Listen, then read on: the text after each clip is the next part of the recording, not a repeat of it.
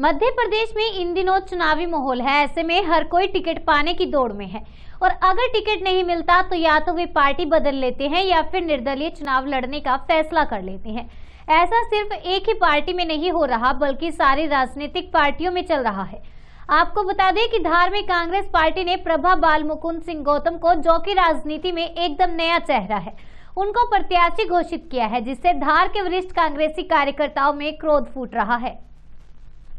इसी के चलते धार से हितेश ठाकुर ने पार्टी हाईकमान पर टिकट वितरण को लेकर आरोप लगाया कि मैं लंबे समय से पार्टी के लिए काम कर रहा हूँ, लेकिन पार्टी ने मुझे टिकट नहीं दिया और प्रभा गौतम जो राजनीति में नहीं आई है उन्हें टिकट दिया गया।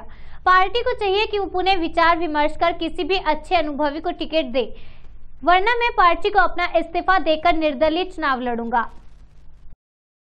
कांग्रेस पार्टी द्वारा धार विधानसभा क्षेत्र से श्रीमती प्रभा सिंह को जो उम्मीदवार बनाया गया है, उससे हमने अपनी असहमति माननीय राहुल गांधी जी के समक्ष जताई है और इस बात के लिए विरोध प्रकट किया है कि हम लोग जो 32 साल से मैं स्वयं भी उम्मीदवारी के लिए प्रयासरत था, मेरे को 32 वर्ष कांग्रेस में काम करते हुए हो गए हैं।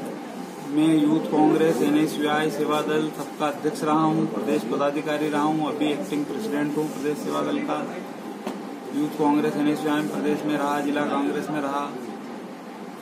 तो हम लोगों को छोड़ के एक ऐसी महिला को उम्मीदवार बनाया है, जिसने कभी 32 सेकंड भी कांग्रेस में काम नहीं किया 32 मिनट भी कांग्रेस में काम नहीं किया। तो उसके प्रति हमारा विरोध है। हम चाहते हैं कि कांग्रेस के मैं या मेरे जैसे किसी अन्य सक्रिय व्यक्ति को कांग्रेस पार्टी अपना उम्मीदवार बनाए। और इसलिए हमने राहुल गांधी जी से अनुरोध किया है ईमेल वगैरह भेज करके कि वो अभी भी प्रत्याशी अगर पार्टी अपना फैसला नहीं बदलती है तो फिर क्या करेंगे? आप क्या निर्दलीय चुनाव लड़ने के लिए तैयार हैं?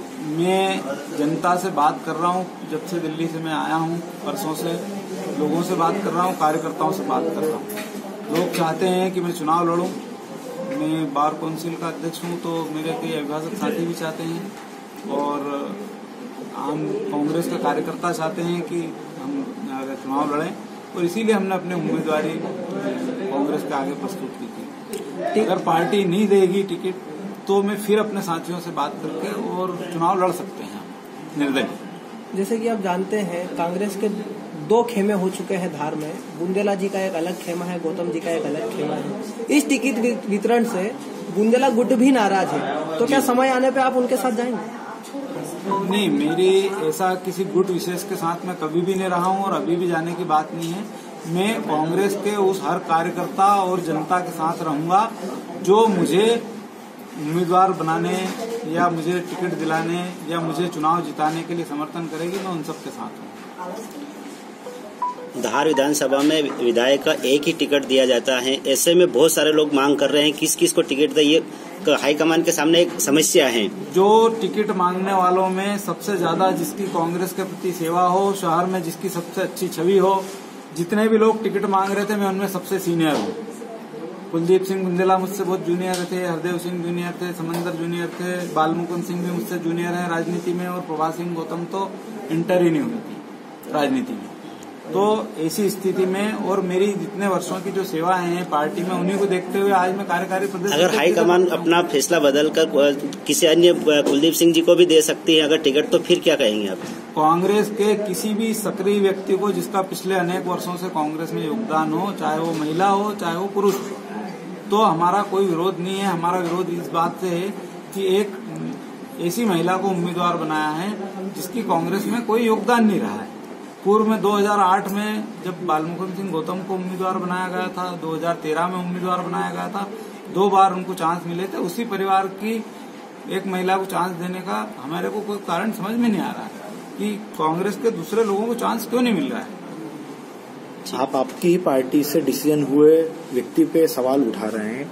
हाँ। तो आखिर क्या आप भी मानते हो कि कांग्रेस इस बार नहीं हम हमारी पार्टी अगर कहीं कोई चूक हो रही है तो अभी हमारे पास वक्त है कि हम उसको हमारी पार्टी सुधार ले, ताकि कांग्रेस को विजय मिल सके। हम कांग्रेस के सच्चे सिपाही रहे हैं इतने वर्षों तक।